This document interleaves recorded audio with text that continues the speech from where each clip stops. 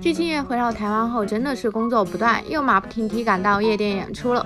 大概是因为多次在台北夜店演出，已经习惯了这个场合。具俊晔这次表演比以往放松许多，现场也超级嗨。具俊晔打扮也显得年轻了十岁，戴着耳机在舞台上打碟，音乐水平一如既往的高。她还随着音乐扭臀跳舞，看起来非常兴奋。底下观众也相当买账，跟着一起跳舞，现场氛围真的很好。拍摄者也忍不住透露，称姐夫本人看起来真的比荧幕前更加年轻，手臂上也有肌肉，皮肤非常紧实，跟着他跳舞超级嗨。不得不说，鞠婧祎能在这个年纪保持这么好的状态，真的很厉害。